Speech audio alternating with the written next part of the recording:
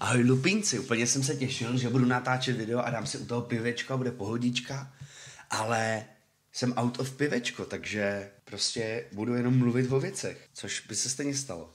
O čem budu mluvit dnes? Joker, velmi oblíbená postava, velmi oblíbená postava u všech. Já mám trošičku problém s tím, že vlastně nemám rád moc Batmaní padouchy ze stejného důvodu, proč už tolik mojí nejoblíbenější postavou není Batman. Uh, z toho důvodu, že prostě je nechává žít, takže furt se tam objevují a furt dělají šity. Díky tomu, že Batman třeba Jokera nezabil, tak Joker mohl zmrzačit a zabít stovky dalších lidí, takže vlastně Batman udělal špatně. No nic, postava Jokera není úplně nováčkem, eh, je z roku 1940, tuším, že se objevil hnedka v úvodním díle Eh, kde se objevil Batman. V prvním díle měl hnedka Joker umřít, ale zasáhli na poslední chvíli autoři a nechali ho žít a díky tomu se z něj stal největší padou. Pojďme si nejdřív říct, kde můžeš narazit na dobrýho Jokera ve filmech. V hraných filmech je to jasný, je to první Batman od Tima Bartna, kdo ho neviděl, tak je úplný idiot. Tam ho hraje Jack Nicholson, pro mě úplně božský, v té době jsem z něj měl strach, protože si nevěděl, co za další minutu udělá. Že se mu líbí buchta, on jí balí a ty nevíš, že si na ní třeba za minutu nevyleje kyselinu. Samozřejmě to udělal, je to spoiler. Tam ho mám prostě nejradši.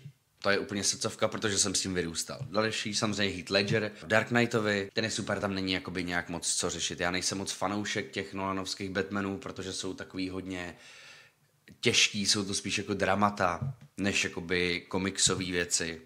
Pro mě teda ale samozřejmě prostě Heat udělal Jokera úplně mega na to, že se od ní neočekávalo vlastně vůbec nic. A další Suicide Squad. Ten film jsem ještě neviděl po druhý, poprvé jsem si říkal, že to strašná sračka a Joker byl jedna z mála věcí, které na tom filmu pro mě byly super. Jared Leto samozřejmě ho zahrál dobře, protože mně přijde, že hraje dobře všechno a povedlo se mu to, vypadal cool, ale to je tak asi všechno, co ve mně vyvolal. Další animáky. Samozřejmě je uh, v Killing Joku, kdo toho neviděl, tak by ho měl vidět, je super, točil jsem na něj video. Potom je v Batman vs. Red Hood, tam je super. Uh, ve starém animáku, který mám strašně rád a je podle mě jeden z nejlepších, Batman Mask of Phantasm, uh, kde je zase skvělej. Je to jakoby old school, je to udělaný ve stylu toho seriálu, který byl teda boží. A pak Dark Knight Returns, což je dvoudílný animovaný film, úplně sakra boží, tam je boží soundtrack, vizuál, všechno. A Joker je tuším, že v druhém dílu je tam dost jiný než všude jinde. Je takový jakoby divný elegán, ale možná o to víc psychopat, ne tolik vysmátej.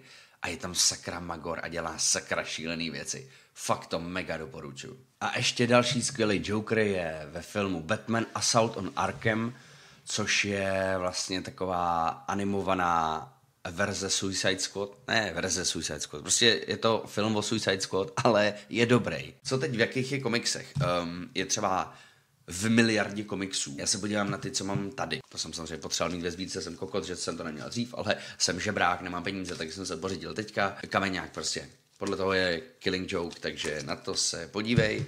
A potom Smrt rodiny. Tohle jsem chtěl, ty vole. To je tak geniálně, nádherně udělaný, že jsem to strašně dlouho prostě chtěl.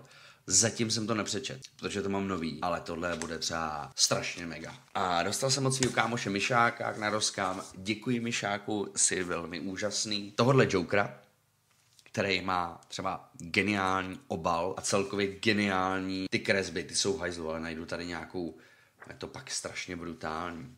Strašně brutální, velmi temné, velmi brutální a velmi temné. Teď budu třeba 6 hodin hledat, protože jsem si prostě nepřipravil na to. No. Prostě jsem to nedokázal. Neměl čas. Dělám spoustu důležitých věcí, jako třeba... No, tak dobře. To není tak, že by jakoby všechny stránky byly blbý a jedna byla uh, super. Ne, prostě hledám eh, třeba tady, je to pěkný. Jo, je prostě hrozně, hrozně pěkně nakreslený, brutální, Joker je tam psycho. Problém s Jokerem je ten, že Joker je vždycky, je vždycky psycho. Takže ta nejšílenější věc, která tě napadne, že udělá, tak on ji vždycky udělá. Což znamená, že ne vždycky člověk jako, jako překvapí. Tady prostě není to nějaký mega složitý uh, důmyslný příběh. Je to prostě o tom, jak se Joker vrátí mezi normální lidi a samozřejmě rozpoutá peklo a je zmrt a všechny trápí a všechny ničí a, a tak.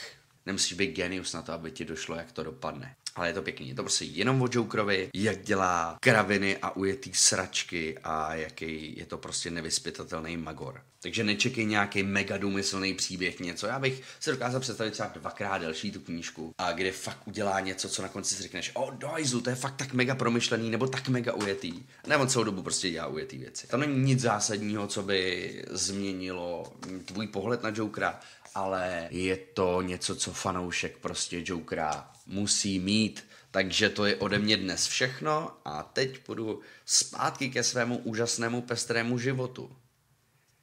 Což je...